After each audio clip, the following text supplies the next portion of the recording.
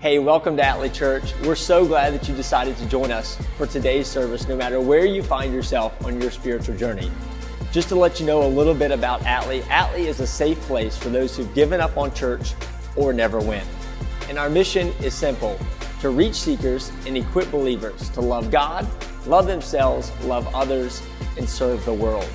Now, if you want more information about who we are as a church or ways for you to get connected, make sure to check out our website at atleechurch.org, or you can also visit us on social media or download our app. And we hope today that you find the service helpful and also encouraging no matter where you are in life right now. So let's get started with today's service.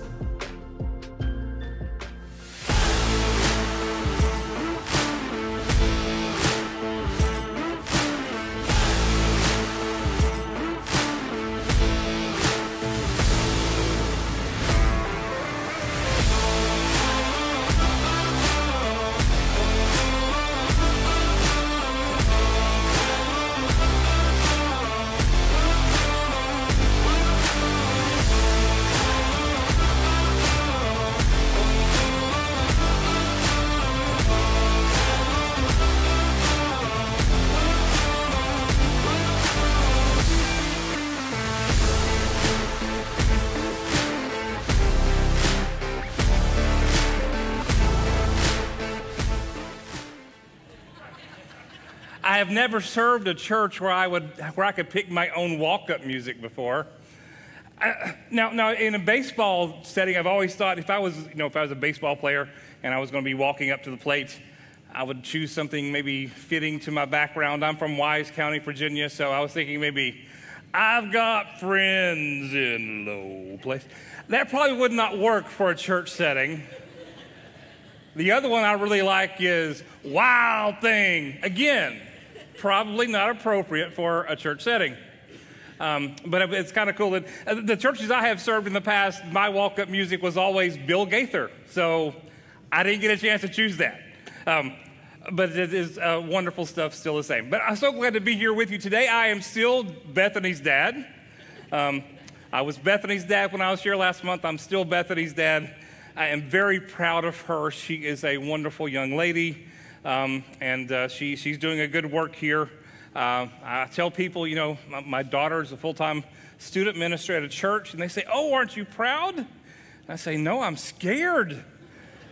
My goodness, she's 21 and doing a full time ministry, and I, that's, that's hard stuff. Uh, but I'm so proud of her. She's doing a good job here, and uh, the baptisms were beautiful, and I'm just so glad that she has the opportunity to, to serve in such a way. Um, so allow, thanks for allowing me to come back and be with you. And uh, uh, looking forward to sharing with you again this morning uh, from Psalm 23. All right, so last time we did the first three verses of Psalm 23. I still say that this is the scripture that has possibly been read the most in all of history. Uh, it is, um, of course, from the Old Testament, which makes it uh, newer than the New Testament, I mean, older than the New Testament, and it is, is a popular psalm from David's time up until now. So I still say this is maybe the most read uh, piece of literature ever. So I'll read the first three verses and we'll review them real quickly. The Lord is my shepherd, I shall not want. He maketh me to lie down in green pastures. He leadeth me beside the still waters. He restoreth my soul. He leadeth me in the paths of righteousness for his name's sake. So, to quickly uh, look at the themes of the first three verses uh, the Lord is my shepherd, it's a relationship with him. Um, he maketh me to lie down, uh, uh excuse me, I shall not want is provision. Uh, he makes me to lie down and leads me beside the still waters, is both peace and comfort. He restores my soul, which means that we have a healing God. He leads me, which means He is a God who gives us direction and leadership. He gives guidance. And the last thing I told you uh, was that maybe the bury the lead here. The most important part is we're supposed to do all of this for His name's sake. People often ask, you know, what's the purpose of life? You know, why are we really here? And according to David in, in Psalm 23, the purpose of our life is to live it for his name's sake. So that's the purpose. Today we pick it back up uh, in uh, Psalm uh, 23, verse 4, and I'll read those last three verses and then we'll go through those. Yea, though I walk through the valley of the shadow of death, I will fear no evil, for thou art with me. Thy rod and thy staff, they comfort me. Thou preparest a table before me in the presence of mine enemies. Thou anointest my head with oil, my cup runneth over. Surely goodness and mercy shall follow me all the days of my life, and I will dwell in the house of the Lord forever. So, once again, scriptures that we have heard uh, throughout our life. If you've been a church member, then you, you've heard those scriptures. If you've just lived in the United States as a, as a general person, you've heard those scriptures because uh, it, it is something that we talk about and we hear all the time. But today I want to break down some of the truths that are found in that scripture. First, in verse 4 Yea, though I walk through the valley of the shadow of death. That means that we in our life will have trials and testing. These people who, who, are, who are leading churches who are talking about the fact that, you know, if, if, you, if you work hard enough and you give enough, then you're going to be blessed and everything's going to be easy. They've never read this before. We're going to have trials, we're going to have difficulties. It is promised. And David in, in, in 23rd Psalm, the first part of verse 4, says, folks, you're going to face trials. Everything is not going to come easy, regardless of, of your relationship with your Heavenly Father. Things don't always go the way that you would like. You're going to face difficult, difficulty. Um, my daughter Becca, who is with us today, so good to see Becca. Um, she woke up. So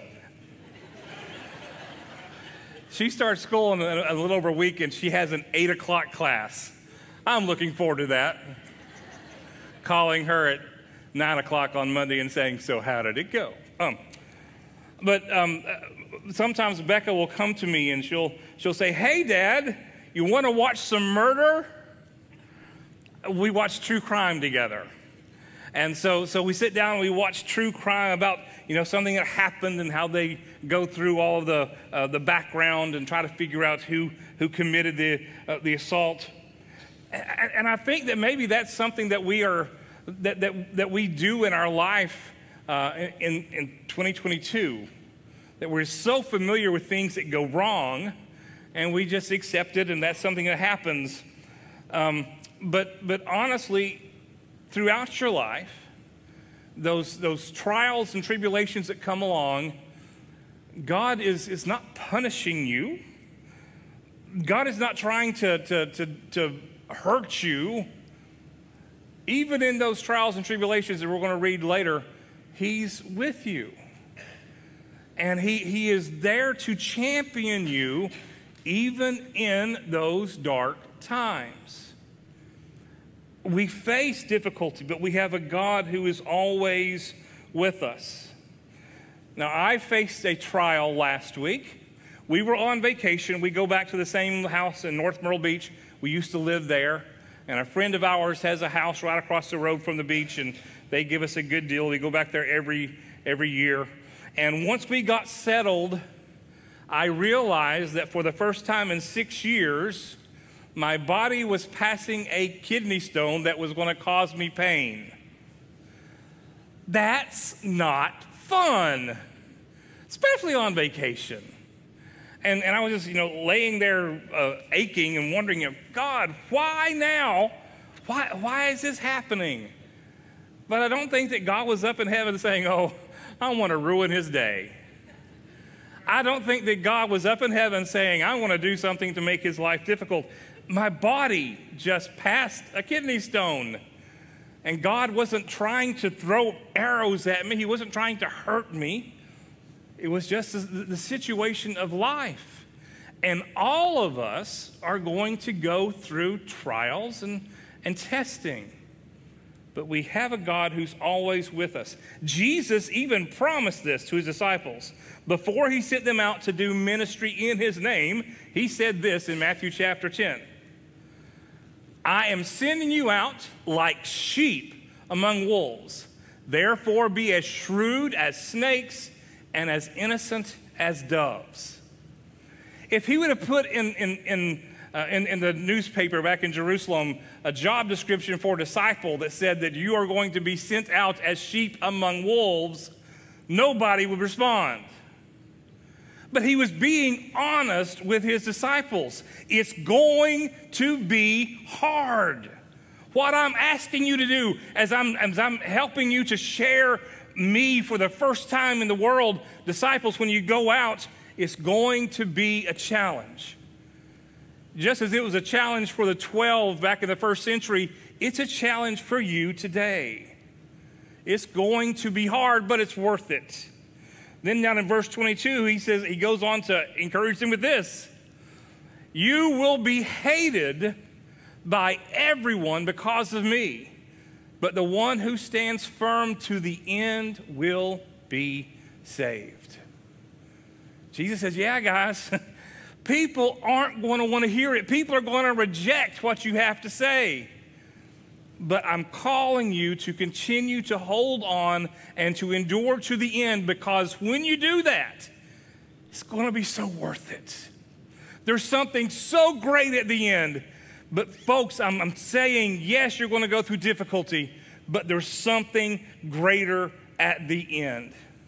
And David, as he's writing this, he knows a lot about trials and, te- and, and testing in his own life. If you read the story of David, he had great victories. He also had massive defeats. He knew the top, he knew the bottom, and he knew that God was going to be with him in those valleys. So David is warning his readers that this can be a difficult road, but there's hope always. The second thing, in the second part says, um, I don't fear because you are with me. That is protection and faithfulness. We don't have to be fearful because we are never alone. Did you hear that? We don't have to be fearful because we're never alone. Our Heavenly Father is always by our side. He cares what's happening in our life. And He's there with us every step of the way. So we don't have to be fearful. Lord, I know that you're there and that you're protecting me.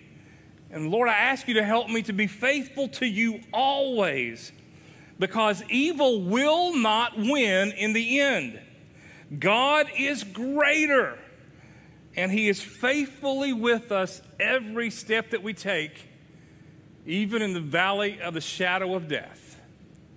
He is with us as our protector and our faithful friend. The presidents have the, the, the special, the, the uh, Secret Service who, who watch over them. Men that we pay and we train as, as American citizens to, to be around our political leaders, our, our president especially. But in the 1980s, when I was a teenager, some crazy guy got close enough to Ronald Reagan to shoot him. Now, he had his, his special, uh, his Secret Service people all around him, but this nut, this guy who was completely out of his mind, managed to get close enough to shoot our president. So, so, so these guys who have been trained, these guys who are willing to, to give their life to protect the president, when, when it came time for them to, to, to have that opportunity, they failed. And I think if, if you look at that from a, from a human standpoint, how can we be protected when the president who has people all around him, when he manages to get shot? And I think it's maybe difficult for us to believe that we can really be protected because we have seen so much violence and so much damage done. But God's protection goes deeper. Yes, other men can cause us harm, but God protects us from within. And our Heavenly Father never takes a break. He's never not there. He's never on vacation. He's never taking a nap. He's always there for us, being our protector and being faithful to us.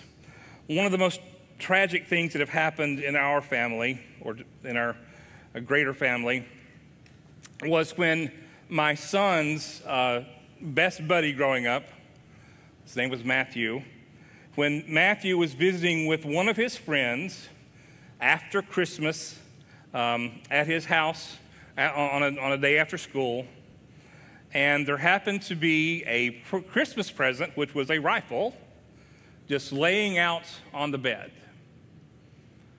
Matthew and this little fellow, this other friend, went in and started playing with it. The friend was holding it by the, by the trigger part. Matthew was on the other side. And the story is that Matthew grabbed the barrel and pulled, and he was shot. Matthew, 12 years old, died by that accident. And it, was, it was devastating to us. It was devastating to his family. We were still close with them. And, and that's such a, such a tragic thing. The pastor who did the funeral, Joshua and I went back for the funeral. We were no longer living there then, but we went back for the funeral, and he made me so angry.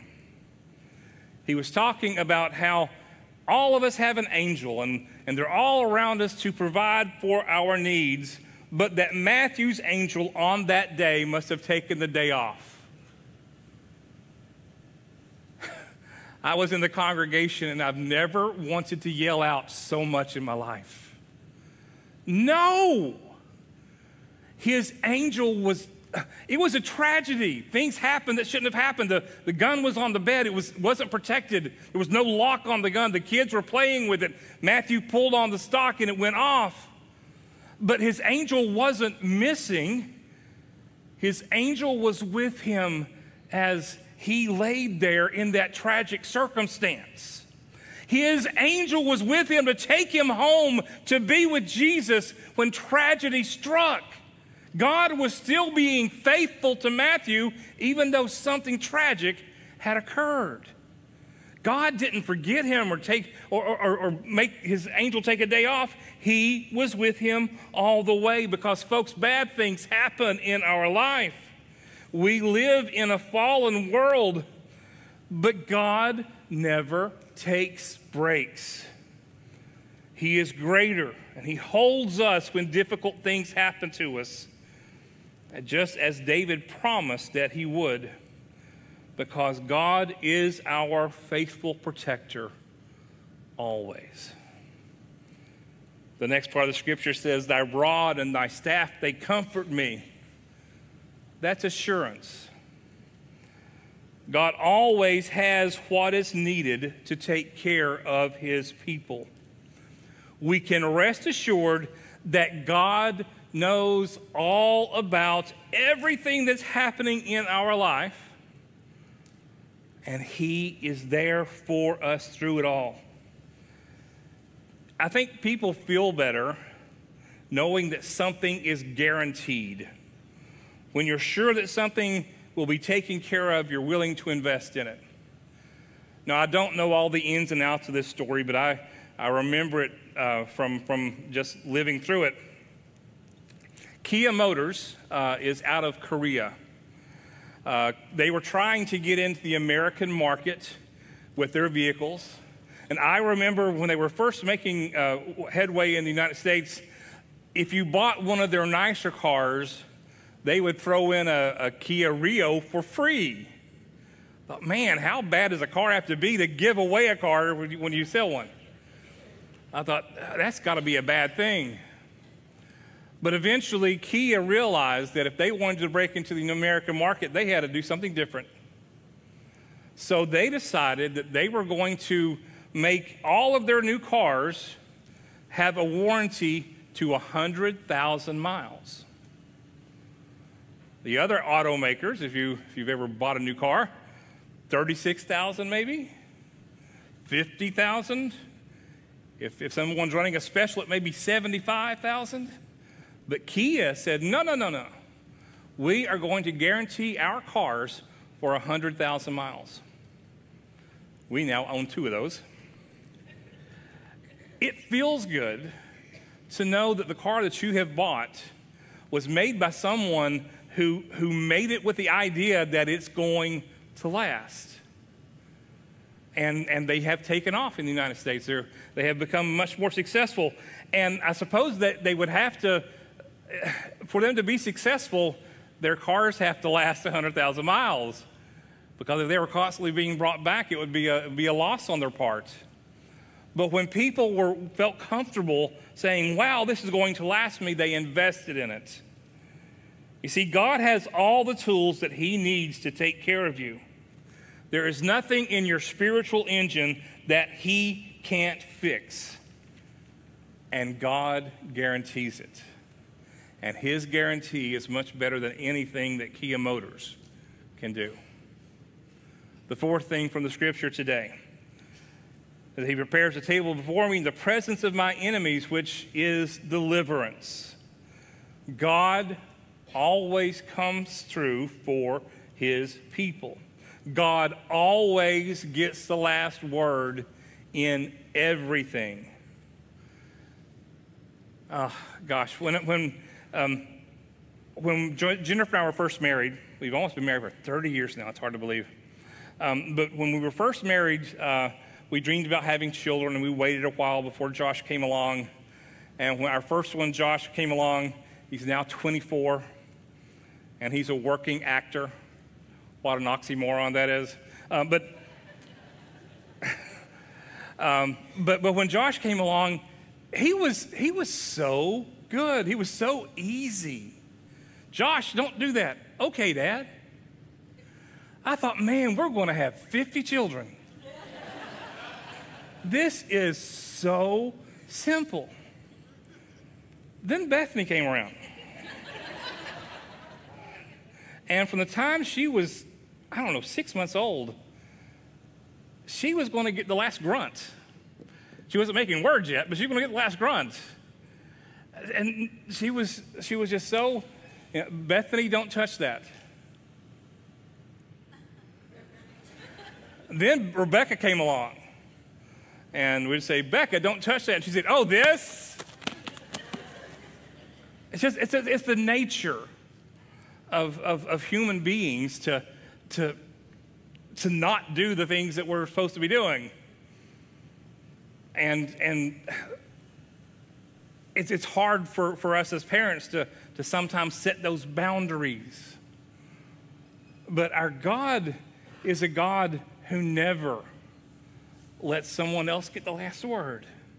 Vengeance is mine, saith the Lord. In the end, he has all control and it's all under him, and no one is going to undo anything that he wants to have done. He is our deliverer, he always wins. We went to see um, my, my uh, niece, my wife's sister's daughter, uh, when we were first married, and she wanted to play pool and she was explaining to me the, the billiards game that she played.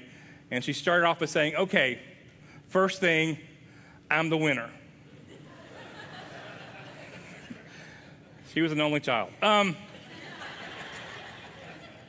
but she, she, she had this mentality that before we start, I win.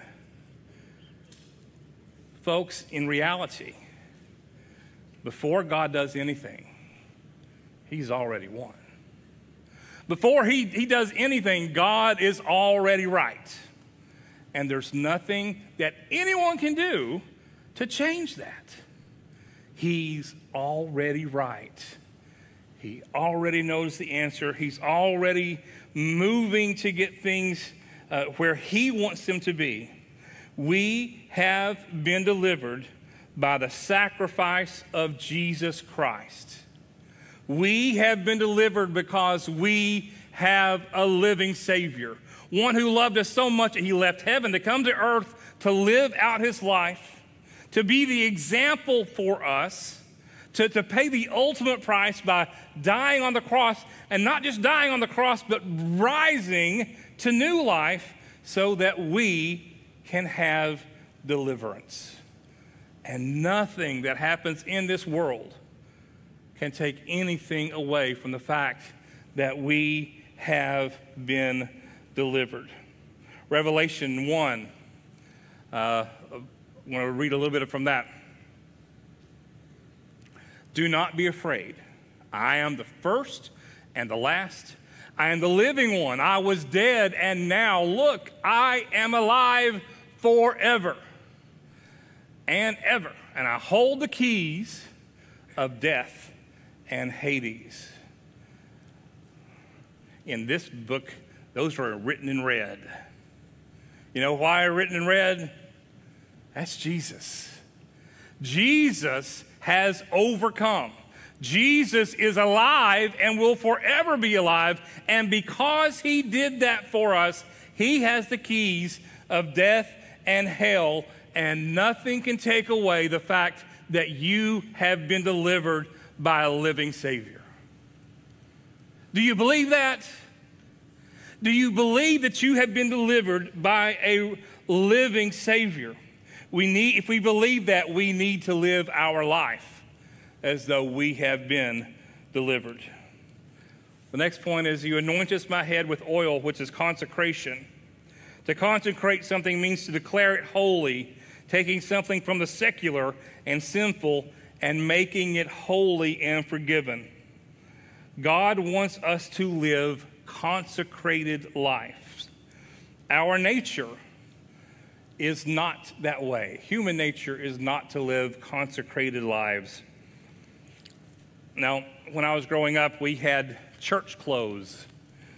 My mom would buy church clothes for us regularly, and uh, it was myself and my younger brother. He was, he's six years younger than me, so we had a little bit different. So, mom would get us ready, and then she would go in and she would get ready. I guess dad was always ready. Um, he just, he was dad, he was just ready. Um, but she would say, okay, you boys be good while I get ready. It took my mom a while.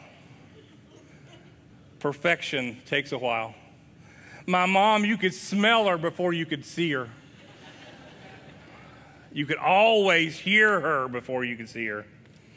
She was loud and proud. So she would go in and she'd get ready. And, and being boys, we would go outside play basketball or, or do something. And those, those clothes that she had bought for me that were meant for something special and to be kept clean, way before we got to church, they were soiled and they were sweaty and they were no longer Sunday clothes, they were just clothes. And I think that's our nature is to just, you know, I don't want to put in the effort. I don't want, I don't want to uh, let God work in me and, and, and, and do this because I just, I just want to, you know, be me. But He's anointed you. He's consecrated you. He has set you aside to be blessed, to be special. And He wants you to understand that and live into it. He wants you to, to, to know that He's called us to be people who strive to be holy and sacred, not because of what we are, because we're not holy and sacred, but because we serve a God who is holy and sacred. And He's anointed us consecrated us to live lives differently. And, folks, when we do that, we should not apologize for it because He has consecrated us. Next part is that we have abundance. My cup runneth over. Now, that's not meant to say that the Good Shepherd gives us all kinds of worldly goods, but He blesses our lives with more than we could ever deserve or hope for. I think we don't understand abundance because in, in our culture, we, we are a culture of abundance. We don't understand how blessed we are. We don't see that blessing. I read an illustration not too long ago. Um, a little boy had read about the circus, and his greatest dream was to someday be able to go to the circus. He had read about it and he had heard people talk about it, and he wanted to go. And he had told his dad this. And uh, eventually, a year later, there's flyers in town saying the circus is coming. The boy goes to his dad and says, Dad, the circus is going to be here on this day, and it's a dollar. I don't know if I can, don't know if we can afford that. And dad says, if you'll, if you'll promise to do your chores and to work hard between now and then, I'll make sure that you have the dollar to go to the circus. Surely enough, little boy works hard and, and does everything he can to impress his dad. And on the day of the circus, the dad hands him a dollar bill and he stuffs it in his bib overalls. It's the most money he ever had at one time. And he goes to town to see the circus. As he gets to town, there's a parade going on, the circus coming into town. The ringmaster's in the front with his baton, and behind him are these musical instruments making a loud noise that he had never heard before. He was amazed by the music they played. Behind them were all of the circus performers in their shiny costumes who were going to be doing death defying things in just a matter of hours. And they walked and they pranced through town. He was amazed at them.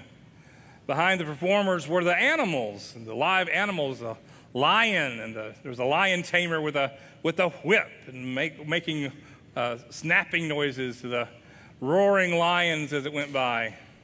And he was mesmerized by that.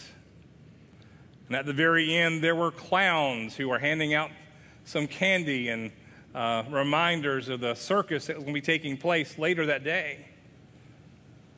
At the end of, the, of that, the little boy ran up to a clown, put his hand in his suspenders and uh, his bibs, and gave the clown a dollar bill and said, That's everything I thought it would be, and headed home. He didn't realize that he had just seen a preview. He was happy with just the preview. There was so much more for him if he would have gone to the circus. But he was willing to accept just the little glimpse that he got. I think in our life that sometimes God has things prepared for us, things that He wants to, to show us, things that He wants to, to give, things He wants us to, to explore that we never get to because we're good with what we have. That we never take that next step to find out what God wants. But, folks, our cup runs over, and we need to be allowing God to show the fullness of what He has for us. The next promise from Psalm 23 is security. Surely goodness and mercy, uh, I'm sorry, uh, security's first. Um, so we're going to, we're secure in our Heavenly Father. We are secure in what He's able to do for us. We are safe in His arms. We know that He is there for us. Um, I'll go back to, to Grace in just a moment. So, um, God, our Heavenly Father, wants to make sure that we live a life of security. And I believe with all of my heart that you can know that, that you can have security. This is from John chapter 10. My Father, who has given them to me, is greater than all. No one can snatch them out of my Father's hand. And again, those are words in red in the Bible. That's Jesus. Those that have, who have accepted Jesus are now in his hand and they cannot be snatched away. We are secure in him. He has done all he needs to do for us to find that security. But you have to be His to have that security. You have to know Him. You have to have a relationship with Jesus Christ. I have a relative who's always told me, Oh, Russ, God wouldn't send His children to hell. And I say, Yeah, but you got to be His child. You got to have a relationship with Him. But once you have that relationship, you have security in Jesus Christ. And again, we need to live our lives secure. And I skipped grace. We'll go back to that. Grace is the unmerited gift of divine forgiveness by one loving God. You see, I'm sinful. I have fallen short of God's wants for my life, but He is my perfect shepherd. And He knows that I deserve punishment, but He loves me so much that He sent His Son to pay the price for my sin so that I may experience His grace. Again, I think grace may be something that we have a hard time accepting in our, our world. You don't see much grace. You don't see many people um, who are given that kind of mercy, that loving uh, uh, care, even though you don't deserve it. I think we're always trying to find a way to deserve things. And grace is something completely undeserved, given by a loving Father that we cannot pay back. There's a story about um, Mayor LaGuardia from New York City. Uh, the story goes that in December one year, when he was governor, excuse me, when he was mayor, um, he went into the city court and he took over the night court for the judge. He was going to sit in and be the judge himself. And one of the cases that came before him was a, was a senior lady who had stolen bread. And the store owner said, She stole bread. There's, there's no doubt about that. I saw her. She admits it. She needs to pay me for the bread. LaGuardia looked down upon her and saw her desperate state. He said, Okay, I, I fine her 50 cents to pay you back for the bread. But he said, What I want to do right now is I want to charge a tax to everyone who's in this room, and I want it to be collected now. So everyone owes 50 cents. And so they, one of the bailiffs went around and collected 50 cents from everyone who was there. And he said, With the first 50 cents, I'm going to pay her fine. And then he took the other 40 some dollars and change and he gave it to the lady. And he said, I know that you were only stealing to take care of yourself. And here's something to help you to take care of yourself. That's grace. That's grace. She didn't deserve it. She had done something wrong. She knew she had done something wrong. But she was in a desperate state, and, and this, this benevolent judge chose to have mercy and grace on her. And instead of punishing her and throwing her into the, to the bowels of the jail, he instead blessed her and sent her on her way. We serve a God who gives us unmerited grace. Then the last thing here the last part, and I think this may be the hardest for us to understand, is forever, eternity. I think that may be the hardest thing for us to understand because in our human mind, I don't think we can wrap our minds around that. There is nothing in our lives that has not had a time frame, a due date an expiration date, a best buy date. Everything comes and goes at some point. Everything has an end. Um, everything comes to an end in this world. Now, if you talk to people from Europe, they, they think that we're babies in, the, in, New America, in uh, North America because their history is thousands of years and if you go to Europe, you can go to, you can go to castles that have been around for 600 years. That's only 600 years. If you go to the Middle East, you can go to places and you can dig down and, and you can find civilizations that, that lived thousands of years ago. But that was just thousands of years ago. There was a beginning to it, and you can rediscover it now, but there was an end to it too. Nothing that you have ever experienced was forever. But that's what we're promised with Jesus that we can be with him forever. I once went to a church camp with a bunch of a bunch of uh, male children, and I thought that was forever. it was a week, but it seemed like a long week. Forever. I, I can't I can't imagine it. I can't see it because nothing in my life has ever been forever. But eternity with our Heavenly Father is available to us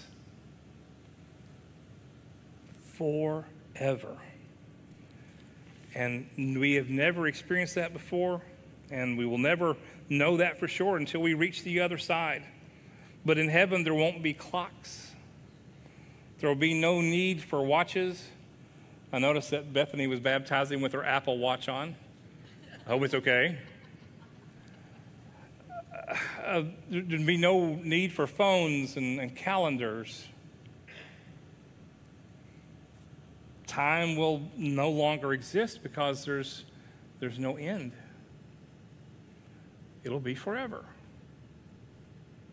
And I, again, I just can't. I can't understand that. But I know it's going to be wonderful to be with Him forever. I know that it's going to be wonderful to live in a place where we don't have expiration dates, where we don't have death and we don't have things that go bad, but we have an, a time to live indefinitely forever. And God wants you to know that love that lasts forever. All right, so we've talked about relationship, provision, comfort, peace, healing, guidance, purpose, trials and testing, protection, faithfulness, assurance, deliverance, consecration, abundance, grace, security, and eternity. That's quite a bit for six verses. That's quite a bit for something that we've probably read hundreds of times ourselves. But it's all in Psalm 23. Do you accept all that He's trying to give you? Do you understand the blessing that He wants to bestow? Do you allow Him to do the things in your life that only He can do? That He is striving to do? Or are you like that boy seeing the circus parade? I mean, that's enough for me. Will Ferrell had a, had a skit on Saturday Night Live back when the Who Wants to Be a Millionaire thing was, was a popular thing. And he was a, a contestant on the show. And on that show, they always ask an easy question for the first $100. And Will Ferrell answered it said, okay, you got $100. He said, your next question. And Will Ferrell interrupted and said, wait a second. Don't I have the chance to walk away with my $100? And the guy playing Regis Philbin said, of course you do. He said, well, I'm good. I'm good. You guys brought me to New York. I got to fly down here. I got a nice hotel last night. I got $100. I'm good. And while people were like throwing stuff at him, saying, You have a chance to win this money, and you give it up, I think with our spiritual life, sometimes we do that. God gives us these wonderful blessings say, oh, that's enough, God. I'm not going to take that next step to see what else is out there because I, I'm, just, I'm just good enough here. Lord, I, I, there's so much more I know that you could explain to me, that you could, that you could expose to me, but I, I'm good. He doesn't want that for us. He wants to be able to bless us and to show us the way and to be there, be that protector, to show us that assurance, to, to give us direction, to help us on our spiritual journey, if we'll allow it. Pray with me. Heavenly Father, we thank you for this opportunity to be together today, to hear your word, and to understand your blessings. Lord, you are good in all of your ways.